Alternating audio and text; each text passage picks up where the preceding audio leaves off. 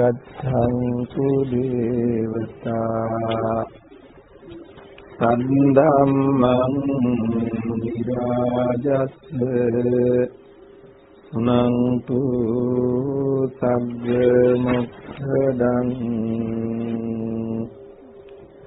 ධම්මස්සවන කාලෝ අයං භදන්තා ධම්මස්සවන කාලෝ අයං භදන්තා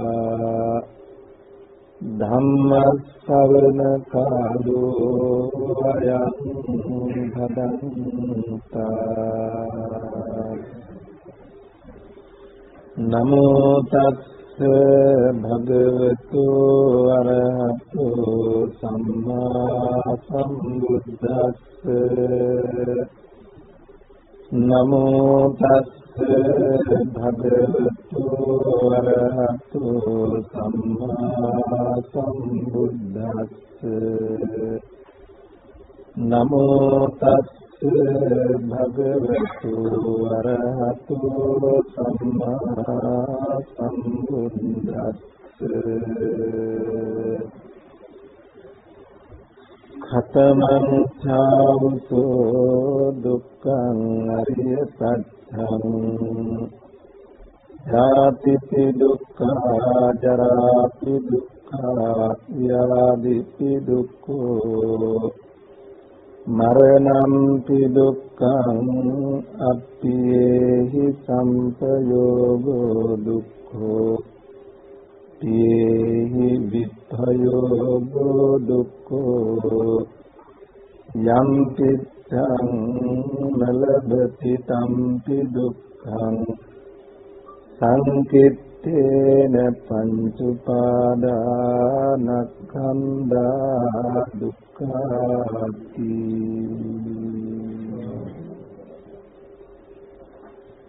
පූජනීය වන්දනීය ලන්ඩන් බෞද්ධ මහා විහාරාධිපති අතිගෞරවනීය අපේ සීල විමල නායක ස්වාමීන්ද්‍රයන් වහන්සේ ඇතුළු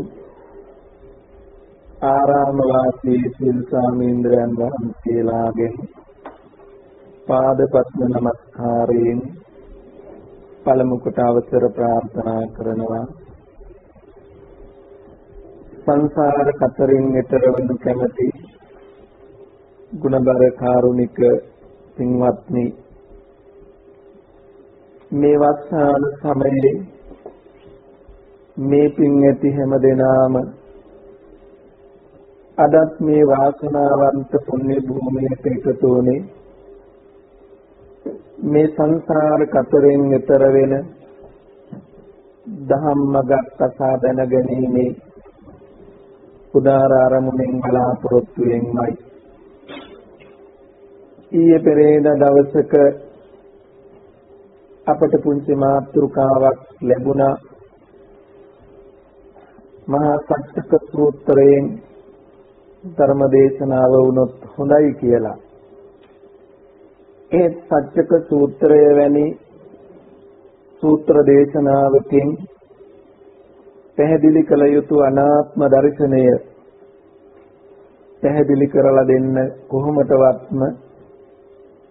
පැයක එකහමාරක කාලයක සීමාවක ඉඳගෙන ඒ කටයුත්ත කරන්නට අපහසු අමාරු නිසා අපේ කැමැත්ත මත වැඩි යමක් පින්වතුන්ට විමර්ශනයට යමක් මතු කරලා දීමේ අදහසින් චතුරාර්ය සත්‍ය අතරින් දුක්ඛාර්ය සත්‍ය පිළිබඳව යමක් පැහැදිලි කළ යුතුයි කියන අදහසට අපි පැමුණුණා.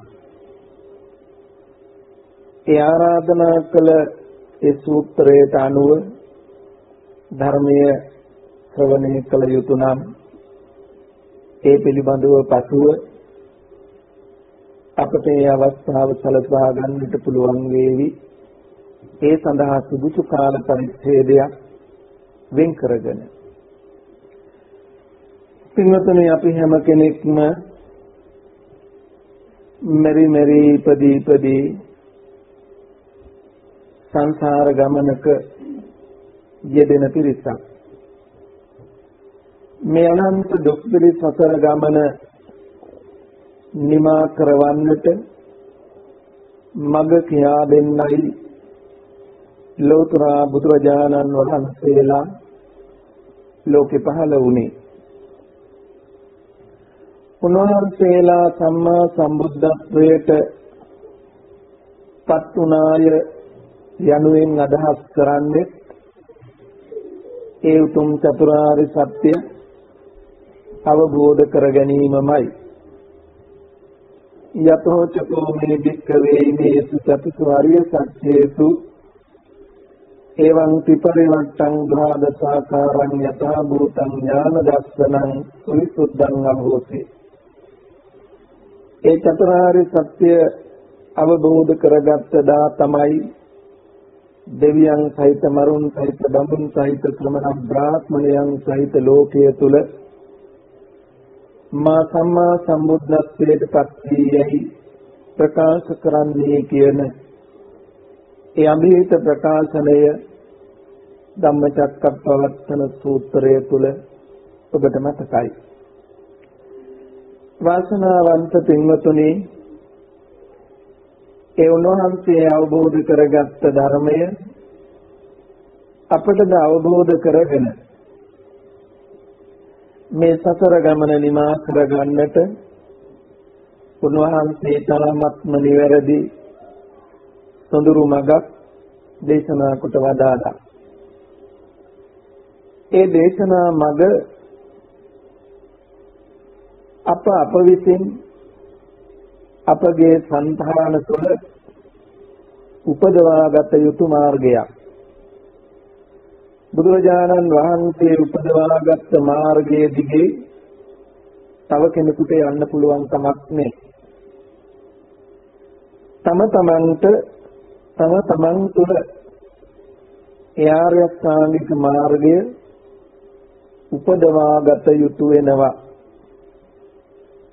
ඒ ආර්ය ශ්‍රාංගික මාර්ගය උපදවා ගැනීම සඳහා පළමු අංගය බවට පත් වෙන්නේ සම්මා දිට්ඨිය. ඒ සම්මා දිට්ඨි කියන තනි වචනයෙන් හඳුන්වන්නේ සතර නුවණ. දුක්ඛේ ඥානං දුක්ඛ සමුදය ඥානං දුක්ඛ නිරෝධේ ඥානං දුක්ඛ නිරෝධගාමිනී පටිපදාය ඥානං ඉදං මුච්චති සම්මාදිට්ඨි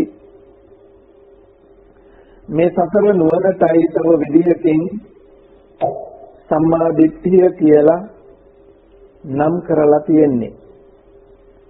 ඒ නිසා අපිටත් ඒ සම්‍යක් දර්ශනය උපදවා ගැනීම සඳහා උපකාර වන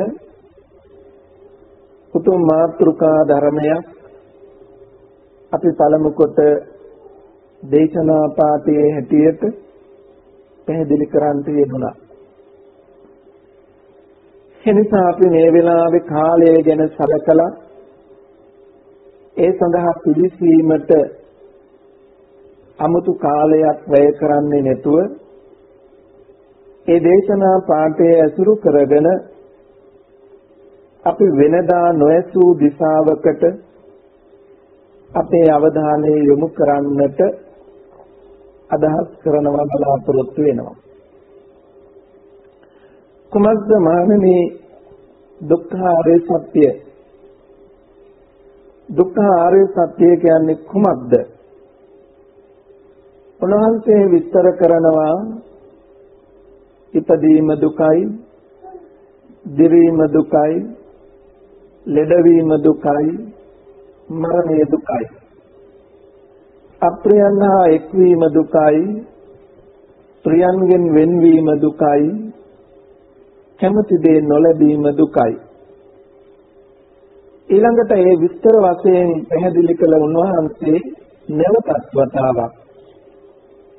ඒ සියල්ල එක්තෙන් කරලා කෙටි කරලා කෙටි කරලා එක වචනයකින් ඒ සියල්ල හඳුන්වනවා.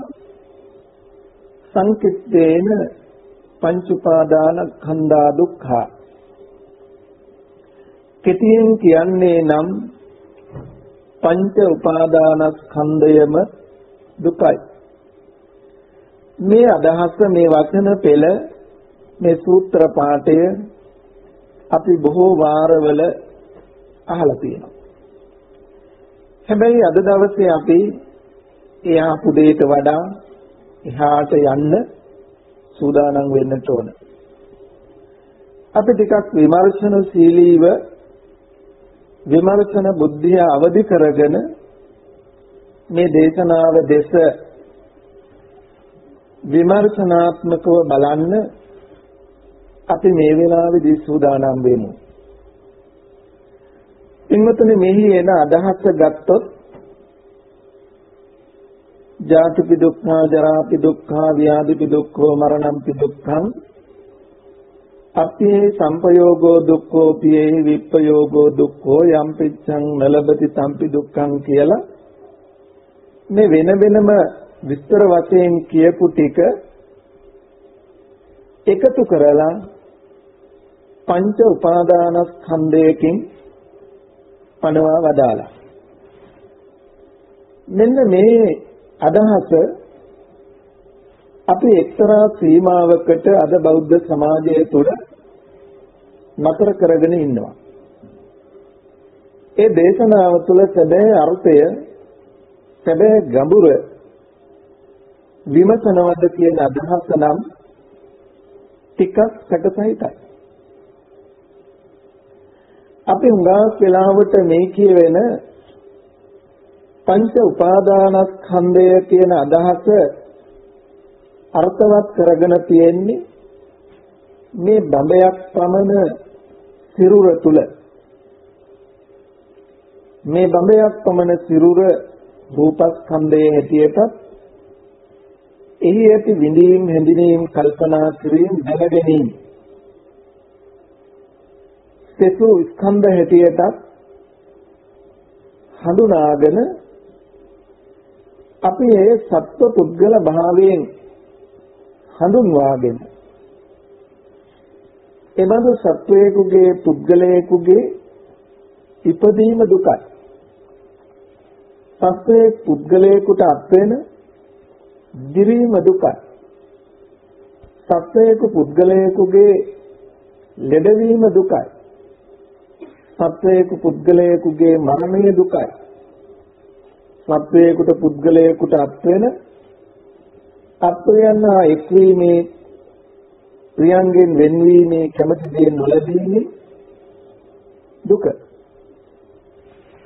එතකොට අපි මේ චතුරාර්ය සත්‍ය හඳුනගෙන තියෙන්නේ දුක්ඛ සත්‍ය හඳුනගෙන තියෙන්නේ පුද්ගල සංකල්පයේ මත පුද්ගලයෙකුගේ ඉපදීම දිරීම ලෙඩවීම මරණය හැබැයි මේ චතුරාර්ය සත්‍ය අවබෝධය ඔය පුද්ගල සංකල්පයෙන් ආත්ම දෘෂ්ටියෙන් නිදි ඊතර කරවන්නක් විය යුතුයි. ඒ පුද්ගල සංකල්පය තුළ මේ චතුරාර්ය සත්‍යයේ එන දුක්ඛ සත්‍ය පිළිබඳව විමසා බැලීම වරදක් නෑ. ඒක සම්මතය. හැබැයි යථාර්ථයේ ධර්මය එතන නෙමෙයි තියෙන්නේ. ඊට වඩා ටිකක් අපිට එහාට මේ අදහස ගෙනියන්න වෙනවා. මොකද අපි මෙතන මේ අදහස පංචස්කන්ධයේ හැටියට අපි දරන මතයට එකඟ වුණොත් අපට ලෝකෝත්තර ධහමකට පිවිසෙන්න බැරුව යනවා. ඒ පුද්ගල සීමාව ඉක්මවා යන්නට බැරුව යනවා. ඒ වගේම අපි මොහොතක් කල්පනා කළොත් මේ අදහස සම්මතයේ තුල සත්‍යයක් වුවත් බුදුරජාණන් වහන්සේ අවබෝධ කරගත්ත ඒ ආර්ය සත්‍ය මෙයමද කියලා බැලුවොත් තවදුරටත් අපිට මේ ගැන විමසා බලන්නටම වෙනවා. අපි දරන අපි පිළිගන්න මතය තුළ විමසා බැලුවොත් පින්වතුන්ට සිහි කරගන්න පුළුවන් එදා සිද්ධාර්ථ රජතුමාට චන්න ඇමතිතුමා කරපු සතර පෙර නිමිති ඉදිරියේ කළ දේශනාව. එතුමා චන්න සිද්ධාර්ථ බෝධිසත්වයන් වහන්සේට මේ උපන් සත්වයාගේ දිරීම ලෙඩවීම මරණය ගැන හරි ලස්සන අනුශාසනාවක් කළා. චන්නකින් විමසනවා මේවා දැකලා මොකක්ද චන්න මේ මොකද මේ වෙලා තියෙන්නේ? ස්වාමීනි මේක උපන් හැම සත්වයකටම වෙන ධර්මතාවයක්. උපන්නොත් හැම සත්වයක්ම මේ විදිහට ජරපත් වෙනවා. මේ විදිහට ලෙඩ වෙනවා. මේ වගේ යම් දවසක නිර්වෘත්තක දර කඩක් බවට පත් වෙලා අමුතුනට ගෙනහිල්ලා දානවා. ඒ කියන්නේ තන්න මේ දෙතිස් මහා පුරුෂ ලක්ෂණ වලින් 80ක් කුඩා ලකුණේ ධ්‍යාන ප්‍රභාමාලාවෙන් යුක්ත මගේ සිරුරටත් මේ ධර්මතාවය එනවද? ස්වාමීන් ඔබ වහන්සේට මේ ධර්මතාවය උරුමයි. ඔබ වහන්සේත් මේ ධර්මතාවයට යට මෙන්න මේ වගේ දීර්ඝ අනුශාසනාවක් චන්න ඇමතිතුමා කළ බව පින්වතුන්ට මතකයි. එතකොට අද දවසේ අපි දුක්ඛ සත්‍ය නමින් චන්න ඇමතිතුමා සිද්ධාර්ථ බෝධිසත්වයන් වහන්සේට කියාලා දුන්නු බණ නම් අපි දන්නවා. හැබැයි ඉන් එහාට උන්වහන්සේ බුද්ධත්වයේ තුලින් අවබෝධ කරගත්ත දුක්ඛ සත්‍ය පිළිබඳව අපි මොනවද හොයාගෙන තියෙන්නේ කියලා බැලුවොත් අපේ දැනුමේ අඩුවක් ඇති කියලා අපි කාටවත් දැනෙනවා තේරෙනවා. පින්වතුනි අපි දන්නවනේ බුදුරජාණන් වහන්සේ කියන්නේ පසේ බුදුරජාණන් වහන්සේ මහරහතන් වහන්සේ කියලා කියන්නේ දුකෙන් මිදුණු උත්මය. අපි විශ්වාස කරනවා අපි පිළිගන්නවා ඒකාන්තයෙන් උන්වහන්සේලා දුකෙන් මිදිලා කියලා. අන්‍ය ආගම් දර්ශන අතරේ බුදුදහම වෙනස් වෙන්නේ ඔයතනින්. මේ ලෝකේ පහළ වෙච්ච හැම ආගමක් දර්ශනයක්ම යම් නිවනක් විමුක්තියක් මිදීමක් පනවනවා. හැබැයි ඒ නිවන ඒ විමුක්තිය හැම ආගමකම පනවන්නේ මරණින් එහා පැත්තේ. මරිලා තමයි ඒ විමුක්තිය ලබන්නේ. ඒ සියලු ආගම් දර්ශන අතරේ බුදුදහම විශේෂයි. නිවන විමුක්තිය මරණයෙන් එහා පැත්තේ නෙමෙයි. මරණයෙන් මෙහා පැත්තේ. මේ ජීවිතය තුලයි දුකින් මිදෙන්නේ. ඒ පරම සංසිඳීම ලබන්නේ මේ ජීවිතය තුල. එනිසා බුදුමසේ බුදුමහරහතන් වහන්සේලා දුකින් මිදී වැඩ සිටිය උත්තමයෝ. අපි මේ අදහස පිළිගන්නවා නම් අපි ටිකක් අපෙන් විමසලා බලන්න ඕන බුදුරජාණන් වහන්සේ දිරුවේ නැද්ද? ආනන්ද හාමුදුරුවන්ට සිවුරක් ටිකක් මෑත් කරලා පෙන්නනවා. ආනන්ද දැන් මගේ සිරුර දිරාගිය ගැලක් කරත්තයක් වගේ. ඒ මෙහෙන් කෑලි එකතු කරලා බැඳලා පාරේ අරගෙන යන කරත්තයක් වගේ සමාපatti බලයෙන් දැන් බැඳගෙන මේ කය නඩත්තු කරගන්නේ. අන්න උන්වහන්සේගේ සිරුර තුල දිරීම තිබිලා. උන්වහන්සේ කොච්චර වාරයක් ලෙඩ වුණාද? වරක් ආනන්ද හාමුදුරුවෝ උදෑසන අවුවේ වැඩ ඉන්න බුදුහාමුදුරුවෝ ළඟට ගිහිල්ලා මතක් කළේ අනේ බුදුහාමුදුරුවනේ සියහවසනම් මං හුඟක් බියටපත් වුණා. මට ධර්මයේ විතරක් නෙවෙයි දිසාවන් පවා අමතක වෙලා ගියා ඔබ වහන්සේ පිරිනිවෙනටපත් වෙයි කියලා ඒ තරම් ඊයේ වහන්සේ අසනීප වුණා බලන්නකෝ බුදුරජාණන් වහන්සේට රෝගාබාධත් වැළඳිලා තියෙනවා. රෝගාබාධත් වැළඳිලා තියෙනවා.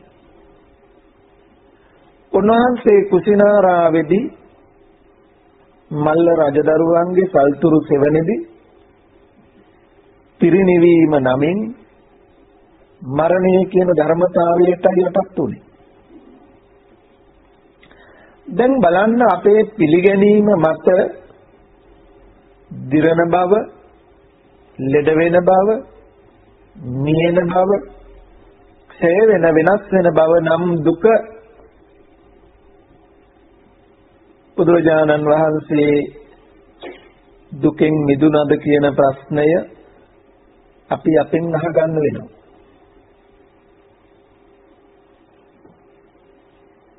අපි අදහස් කරන විදිහට දුක්ඛාරය සත්‍ය කියන්නේ දිරීම නම් දුක ලෙඩවීම නම් දුක මරණය නම් දුක සේවීම වෙනස් වීම නම් දුක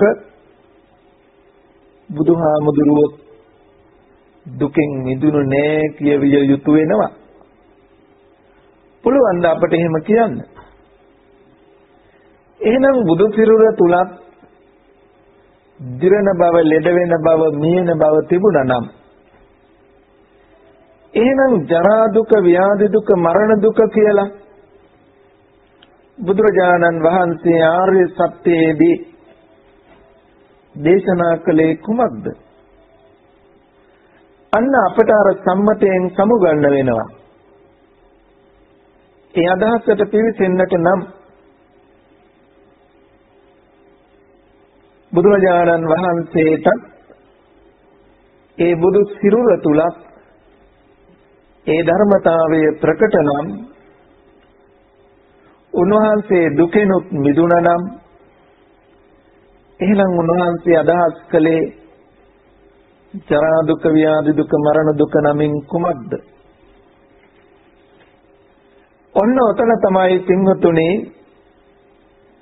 අපට ලෝකෝත්තර දර්ශනයකට නිවන් මඟට පිවිසෙන දැක්මකට ජීවිතය යොමු කරන්නට හම්බ වෙන පසුබිම ඒ ගැන විමර්ශනාත්මකව ගවේෂණයක් කරන්න පුළුවන් වුණොත් අපටත් මේ ජීවිතය තුළ ඒ උතුම් ආර්ය සත්‍ය පිළිබඳව යම් දැනීමක් යම් වැටහීමක් යම් අවබෝධයක් ලබන්නට බැරි කමක් නෑ.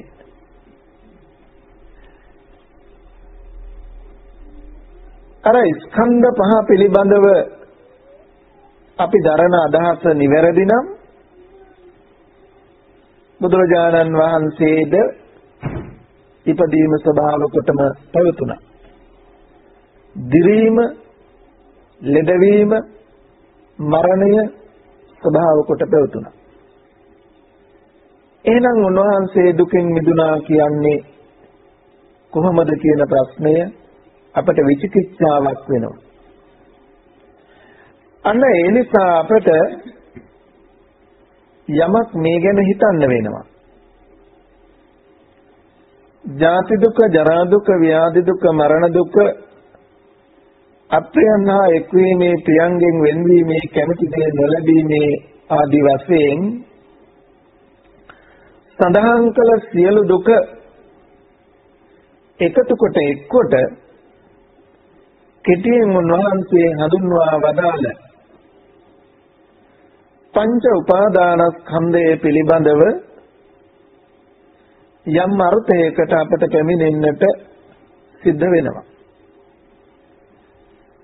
සම්මා දුක්ඛක්ඛය ගාමිනී ප්‍රඥාව හැටියට දක්වන්නේ ස්කන්ධයත් ස්කන්ධයන්ගේ උදයත් වයත් ස්කන්ධයන්ගේ ඇතිවීමත් නැතිවීමත් දෙක දක්නා නුවණයි.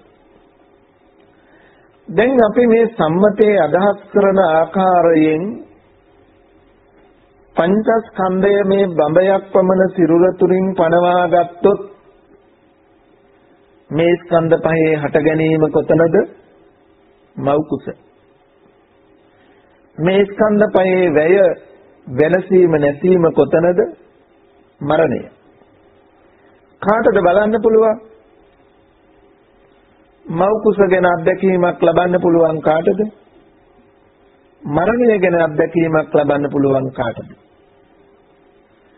අනිත් එක දහමේ දර්ශනය අතීතයටයි තිනේ වර්තමානයටයි අනාගතයටයි තිනේ අතීතං ඒකෝ අන්තෝ අනාගතං ဒ ුතියෝ අන්තෝ ඒකාන්ත දෙක අත්හල යුතු දෙපැත්ත පච්චුප්පන්නේන යාපෙන්ති තත්ත තත්ත විපස්සති විපස්සනාව විදර්ශනාව කියලා කියන්නේ මොකක් හරි නෙමෙයි විපස්සනාව විදර්ශනාව කියලා කිව්වෙත් වර්තමානයේ දකින බව. පච්චුප්පන්නානං ධම්මානං විපරිණාමානුපස්සනේ පඤ්ඤා විපස්සනා ඥානං. පටිසම්භිදා මග්ගේ හඳුන්වා දුන්නේ එහෙමයි. එහෙනම් අපට අතීතයෙන් අනාගතයෙන් වෙන් වෙන්න වෙනවා. අපි ඉපදීමේ දුක මව් කුසෙන් දකිනවා. පතපොතේ කියවනවා. මව් කුසෙන් බිහිවීමේ අවස්ථාව මව් කුසෙන් බිහි වුණාට පස්සේ අත්විඳින දුක අපි කියවා බලනවා අහලා බලනවා. ඒක හොඳයි ඒක නරක නේ. චන්න කියා දුන්නු බණ සිද්ධාර්ථ කුමරුට රජසපත විතරක් නෙමෙයි තව සද්දිනකින් ලැබෙන්න තිබිච්ච චක්‍රවර්ති රාජ්‍ය පවා අතහැරලා යන්න තරම් හිතට මහා ශක්තියක් දැක්මක් එකතු කරලා දුන්නා. හැබැයි උන්වහන්සේ බුදු වෙනකොට අවබෝධ කළේ ටික නෙමෙයි. චන්න කියපු බණ නෙමෙයි. පුබ්බේ අනනුසුතේසු ධම්මේසු පෙර නොයසූ විරූධමක් මම අවබෝධ කළා කියනකොට අපි මතක තියාගන්න ඕන චන්න කියපු බණ ටිකක් පෙර ඇසූ විරූධාමක්. එහෙනම් උන්වහන්සේගේ අවබෝධය පෙර නොඇසූ විරූධාමක්. එනිසා අපට පංචස්කන්ධය පංච උපාදානස්කන්ධය කියන අදහස වර්තමානීය මේ තුලින් හමු වෙන යථාර්ථයකට අපි පිවිසෙන්නට වෙනවා. දුක්ඛ සත්‍ය පිළිබඳව හැබෑ වැටහීමක් ලබන්නට නම් එතනදී සම්මතය හා පරමාර්ථය කියන දෙක අපට වෙන් කර හඳුනා ගන්නට වෙනවා. අපි උදාහරණයක් හැටියට ගත්තොත් තෙල් පහනක්. ඒ පහන දල්වන මොහොතක් තියෙනවා නිවි යන මොහොතක් තියෙනවා. ඒ දැල්වූ මොහොතේ පටන් නිවි යන මොහොත දක්වා පවතින පහන් සිලක් පහන් ආලෝකයක් අපි දකිනවා. අපි ඇහුවොත් පහනේ ඇතිවීම දල්වපු මොහොත. නිවීම එක වැය වෙන මොහොත. ඇති වෙන නැති වෙන මොහොත. එතකොට අපට හමු වෙනව ඇති වෙන නැති වෙන පහන් සිලේ මැද පවතින අවස්ථාවක්. එතකොට ඇතිවීම පැවතීම අතරේ ලොකු ඉඩක් තියෙනවා. හැබැයි මේ සම්මතය දල්ලපු මොහොතේ ඉඳලා නිවෙන මොහොත දක්වා දැල්වෙන පහන් සිලක් අපි දකිනවා. ඕක තමයි සම්මත ඇත්ත. ඒක බොරුවක් නෙවෙයි. හැබැයි අපි ටිකක් විද්‍යාත්මක ඇසකින් නුවණින් පහන් දැල්ල දිහා බැලුවොත් ඒක බොරුවක් වෙනවා. මේ මොහොතේ තිරේ අගට උරා ගන්න තෙල් බිඳ දැවීමෙන් දැල්ලක් හට ගන්නවා. හැබැයි ඒ හටගත්ත දැල්ල නම් දිගටම පවතින්නේ තෙල් ඉවර වෙන්න විදිහක් නැහැ. පහනේ තෙල් ඉවර වෙනවා කියන්නේ එහෙනම් මුලින් හටගත්ත දැල්ල ඇති කරන්නට හේතු වුණු තෙල් බිඳ දෙවිලා අවසන් වෙන්න ඕන. ඒ තෙල් බිඳ නිසා හටගත්ත දැල්ල ඒ තෙල් බිඳ අවසන් වෙනකොට ඉවර වෙන්නත් ඕන. ඊළඟට මොහොතේ දැල් වෙනවා අපට පේන්නේ තවත් තෙල් බිඳක්. ඊළඟට මොහොතේ තවත් තෙල් බිඳක්. නුවණින් විද්‍යාත්මක ඇසකින් පහන් දැල්ල දිහා බැලුවොත් නිවි නිවි යන පහන් දැල්ලක් ඔබට දැක ගන්න පුළුවන් වේවි. මේ විදුලි බුබුලක් දිහා බැලුවත් එහෙමයි. විදුලි ඒකකයක් දවාලමින් අපට ආලෝකයක් දිස් වෙනවා. හැබැයි විදුලි ඒකක දැවෙන නිසායි අපේ මීටරේ කරකෙන්නේ. එහෙනම් දැවෙන දැවෙන විදුලි ඒකකයටයි අපට ආලෝකයක් හම්බ වෙන්නේ. අපේ පියවි ඇසට මේ නිවීම දැල්වීම මේ විදුලි බිබුලක තෙල් පහනක නොපෙනුනත් නුවණින් විමසා බැලුවහොත් යථාර්ථයේ ඇත්ත ඒකයි. අන්න ඒ වගේ ඔබත් මමත් මේ ගෙවෙන ජීවිතය තුළ උපතේ ඉඳලා මරණය දක්වා ජීවත් වෙන කෙනෙක් පුද්ගලයෙක් අපට හමු වෙනවා. අර තෙල් පහන වගේ.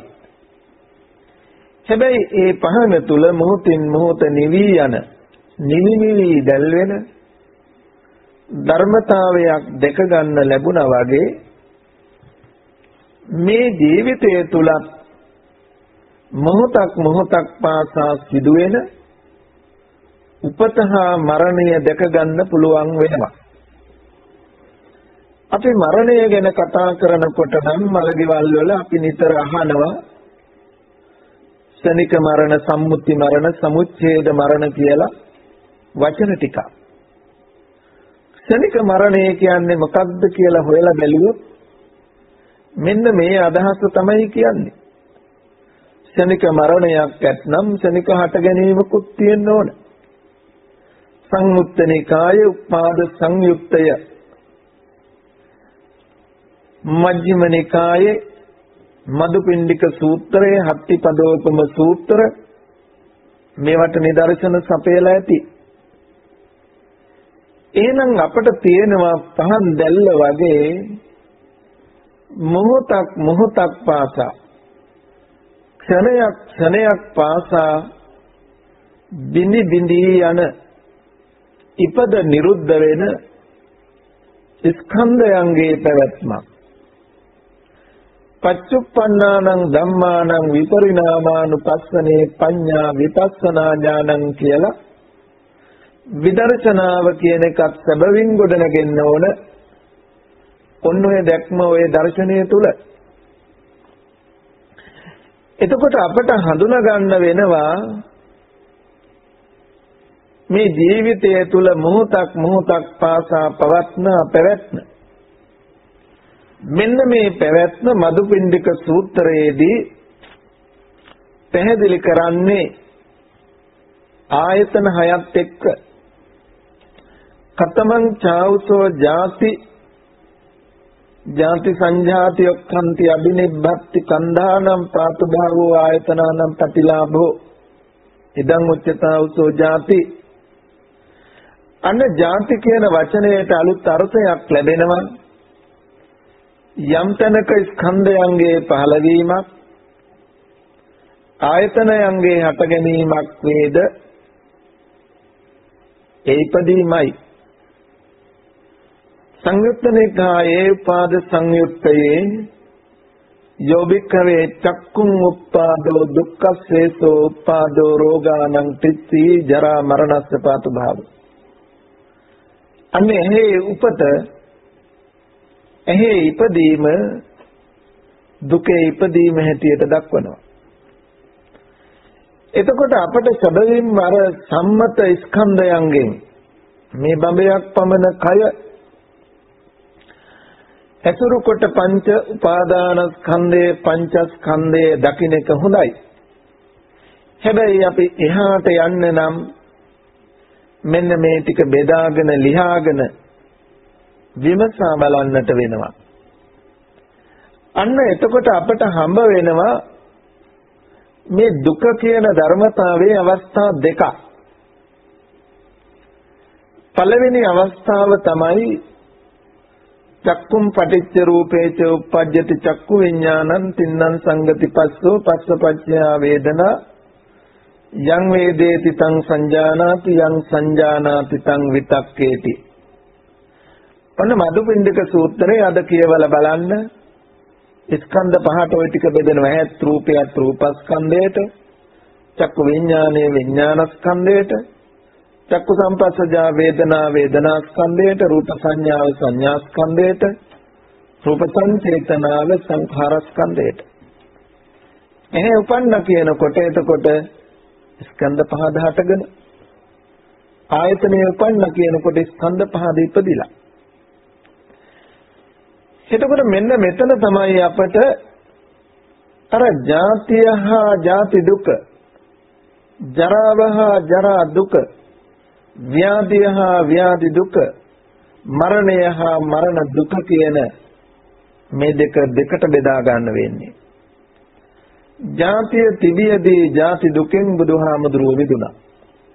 ජරාව තිබියදී ජරා දුකෙන් මිදුණා. ව්‍යාධිය තිබියදී උන්වහන්සේ ව්‍යාධි දුකෙන් මිදිලා. මරණය තිබියදී මරණ දුකෙන් මිදිලා. සෝපදිශේෂ අනුපදිශේෂ කියලා නිර්වාණය දෙකට බෙදෙන්නේ. ඉස්සෙල්ලා ජාති ජරා ව්‍යාධි මරණ දුකින් මිදෙනවා. අනුපාදා පරිනිර්වාණයේදී ජාති ජරා ව්‍යාධි මරණයෙන් මිදෙනවා. අපිට හොයාගන්න වෙනවා එහෙනම් ජාති ජරා ව්‍යාධි මරණය යනු කුමක්ද? ජාති ජරා ව්‍යාධි මරණ දුක යනු කුමක්ද? මෙන්න මේ ටික හඳුනා ගන්න පුළුවන් වෙනවා. අර සම්මත ස්කන්ධයන්ගේ සීමාව තුල රැඳෙන්නේ නැතුව මේ ක්ෂණික මොහොතක් මොහොතක් පාසා සිදුවෙන මෙන්න මේ ධර්මතාවයට මනස තබන්න අපි උත්සාහවත් වුණොත්. එතනදී මේ ආයතන 6 අපි ජීවත් වෙනවා කියන්නේ මේ ආයතන 6 පැවැත්ම. අපි මේ ජීවිතය තුල කරන්නේ මොකක්ද? දකින බව, අහන බව, දැනෙන බව, දැනගන්න බව. ditta sutta mutta විඤ්ඤාත. අපි දකිනින් ඉන්නවා, අහමින් ඉන්නවා, ගඳ සුවඳ රස පහස දැනෙනවා, තරමුණු දැනගන්නවා. ආයතන හයක ක්‍රියාවලිය ඔය. ආයතන හය එකවර උපදින්න බෑ. ආයතනයක් උපන්න කියන්නේ ඒ ආයතනයේ සවිඥානික උනා. ඇහැට රූප බලන්න පුළුවන් වෙන්නේ චක්කු විඥාන හිත උපන්නෝ. ඒ චක්කු විඥාන හිත ඉපදිලා තියෙද්දි තවත් ආයතනයක තවත් හිතක් උපදින්න බෑ. හිත හය අතක් අපිට නෑ. එකවරක උපදින්න පුළුවන් එක හිතක් පමණයි. එතකොට මේ ආයතන හයෙන් සවිඥානික වෙන්න පුළුවන් වරකට එක ආයතනයක් විතරයි. එතකොට අනිත් ආයතන පහ එක්ක අතීතයට තියන්න ඕන මෙරිලා තියන්න ඕන. එක්ක අනාගතයට තියන්න ඕන නූපන්නේ තියන්න ඕන. ආයතන පහක් හැමතිස්සෙම එක්ක මෙරිලා තියන්න ඕන එක්ක නූපන්නේ තියන්න ඕන. හැම මොහොතකම වර්තමානය එක ආයතනයේ ඉපදිලා තියෙනවා. ඒ ආයතනය තුල අර මදුපිණ්ඩික සූත්‍රයේ කියපු විදිහට ස්කන්ධ පහ යෙදිලා තියෙනවා. එතකොට මෙන්න මේ ටිකත් එක්ක අපිට හඳුනාගත යුතු දුකේ යථාර්ථය හා අපි උපදවාගෙන විඳින දුක පිළිබඳව වැටහීමක් ලබන්න වෙනවා. උදාහරණයකින් කිව්වොත් හිතන්න ගිනියම් වෙච්ච ලෝහයක් යකඩයක් දිලිසෙනව රත්තරන් පාටට දැන්. පුංචි දරුවෙක් දකිනවා ලස්සනට දිලිසෙන මේ සුන්දර වස්තුව.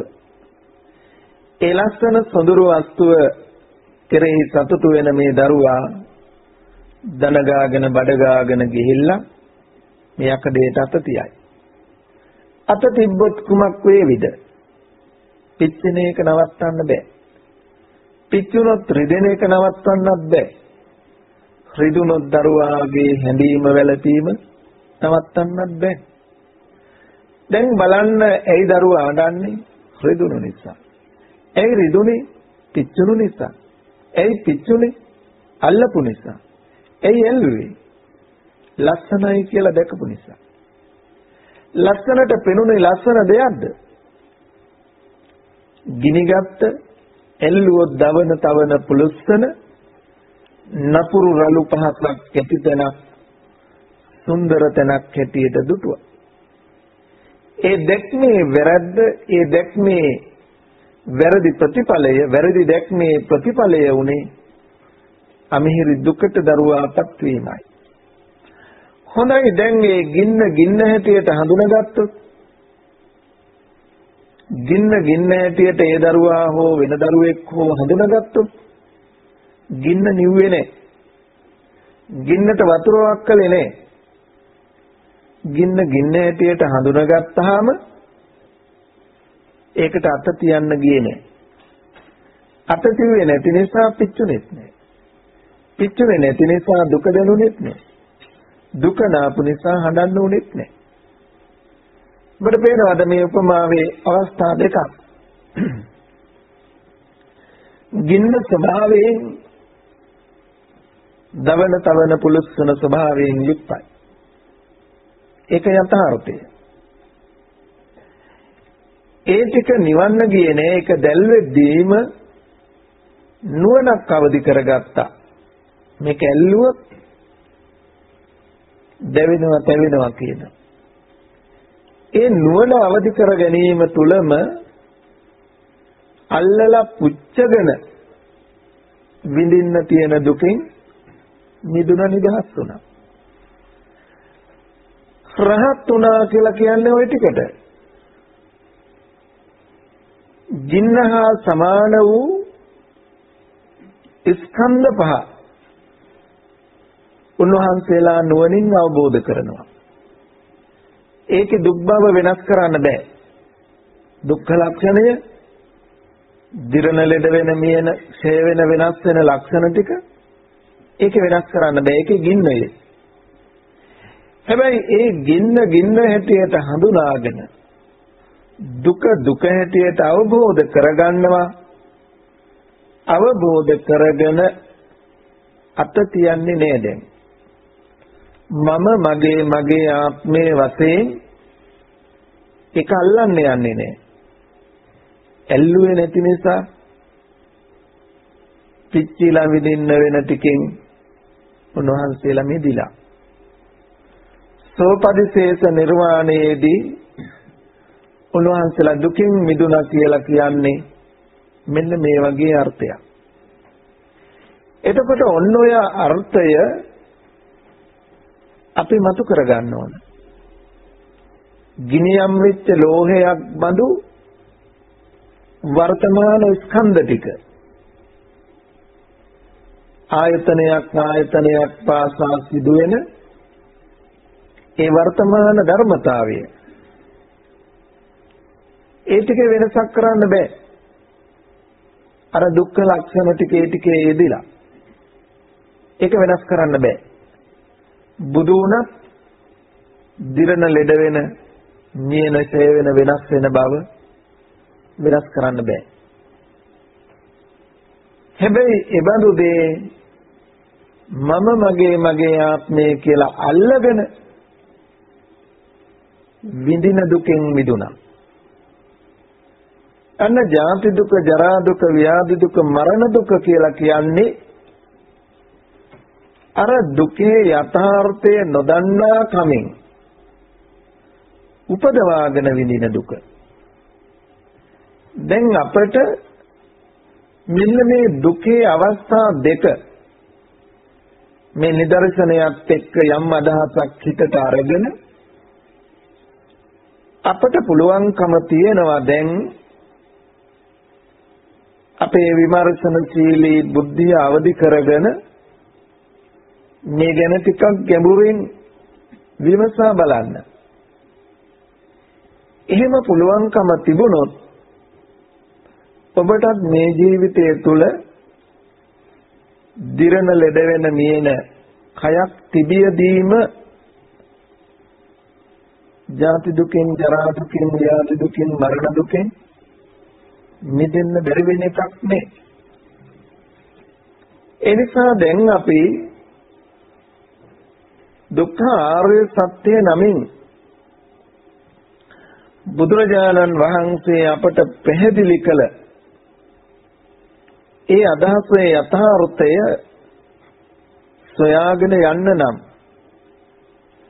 අපි පිහිටා සිටින සම්මතයන්ගෙන් ඉවත් වෙලා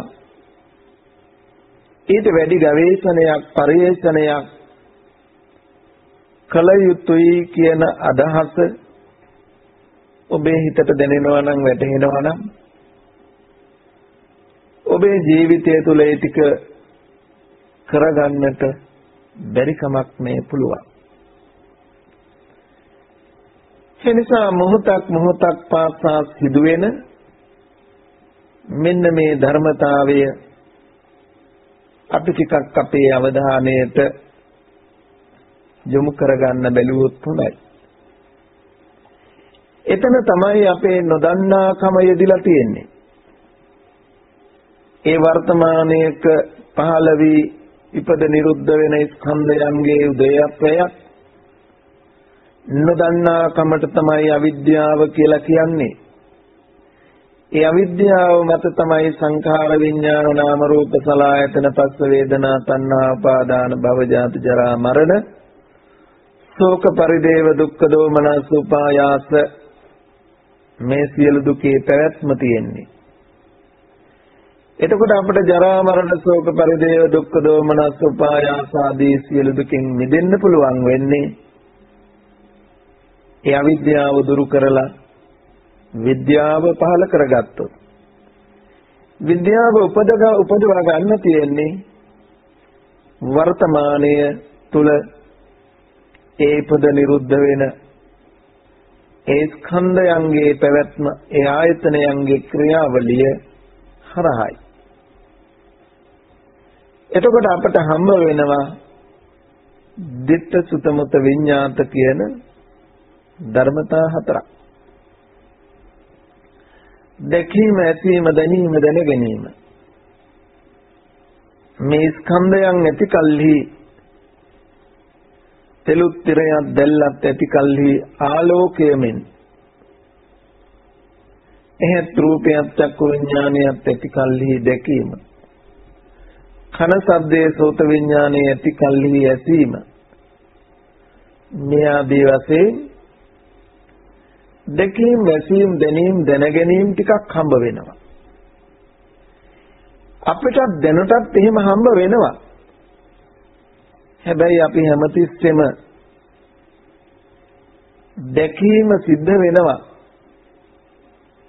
දැකීම අපිට අවසන් වෙන්නේ නෑ තෙලුත් තිරයක් දැල්ලත් නිසා ආලෝකයක් හට ගන්නවා. හැබැයි තෙල් තිරේ දැල්ල නැති වුණොත් ආලෝකයට මොහොතක්වත් පවතින ඉඩක් නැහැ. ඒ වගේ හේත් රූපයක් චක්කු විඥානයක් ඇතිකල්හි දැකීමක් වෙනවා.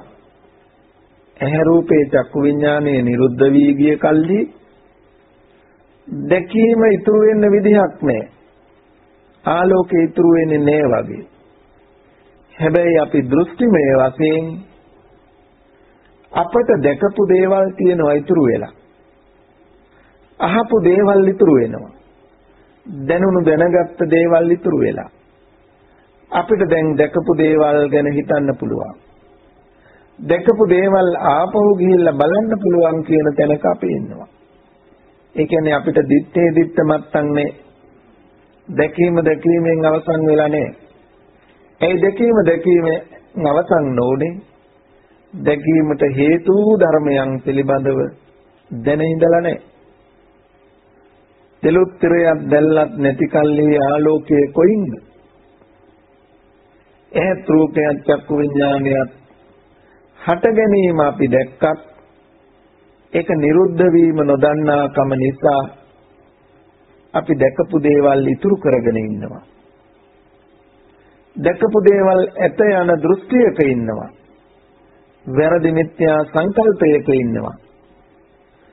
ඔන්න ඔය වැරද්දෙන් මිදෙන්න පුළුවන්කම තියෙන්නේ අපි අර කලින් සඳහන් කළ පරේෂණයට ඔබ යොමු වුණොත්. ඉතින් මේ දේශනාව තුළින් මං හිතන්නේ නෑ ඒ සියල්ල ඔබට ප්‍රත්‍යක්ෂ වෙයි කියලා. අපේ අවශ්‍යතාවය උනේ සොයා යන්නට මාර්ගයක් විවෘත කරන්න විතරයි. එනිසා දැන් ඔබට පුළුවන්කම තියෙනවා මොකක්ද මේ හාමුදුරුවෝ කිව්වේ මොන වගේ දෙයක්ද මේ කිව්වේ කියලා අද රාත්‍රියේම හිතන්න පටන් ගත්තොත් විමර්ශනයේට ඉඩ ලැබුවොත් ඔබ ශක්තිමත් ඔබ නුවණැති ඔබ වාසනාවන්තයි ඔබ වාග්යවන්තයි ඔබ පුණ්‍යවන්තයි ඒ දහම් මඟ හඳුනා ගන්න පාදා ගන්න. ඒ නිසා මට මීට වඩා කාලයේ අවස්ථාව නැතුව ඇති ඒ ගැන පැහැදිලි කරන්නට විස්තර කරන්නට. නැවත වතාවක් ඒ අදහස් ටික අපි කෙටියෙන් සම්පින්දනය කළොත් මේ බඹයක් පමණ කය ස්කන්ධ පහසේ සලකාගෙන හිටියොත් ඒ පුද්ගල භාවයේ තුල ඉපදීම, දිරීම, ලෙඩවීම, මරණය අප්‍රියන් හා එක්වීම ප්‍රියන්ගෙන් වෙන්වීම කැමැති දේ නොලැබීම පුද්ගලයෙකුට වන්නා වූ ධර්මතාවයක් වෙනවා. පුද්ගලයෙකු මත පදනම් වෙනවා. ඒ අදහස චන්නගේ ධර්මයේ බව අපි තේරුම් ගනිමු. ඊළඟට අපි බුදුරජාණන් වහන්සේ අවබෝධ කළ ධර්මයට යන්නට නම් මේ ස්කන්ධ ටික පුද්ගල සීමාව ඉක්මවා ගිය තැනකින් හඳුනාගෙන ජාති ජරා ව්‍යාධි මරණය වෙනමත් අර සම්මතය තුල ජාති ජරා මරණ දුක වෙනමත් වෙන් වෙන ආකාරයේ ගිනියම් වෙච්ච ලෝහය ජාති ජරා ව්‍යාධි මරණයසේ සැලකුවොත් ඒ ටික අන්තර්ගත ස්කන්ධ ටිකසේ සැලකුවොත් ඒ ගින්න නොදන්නා කමින් අත තියා පුලුස්සාගෙන විඳින දුක ජාති ජරා ව්‍යාධි මරණ දුකසේ සලකා ගතහොත් මේ දෙක වෙන් කරගන්න පහසුයි.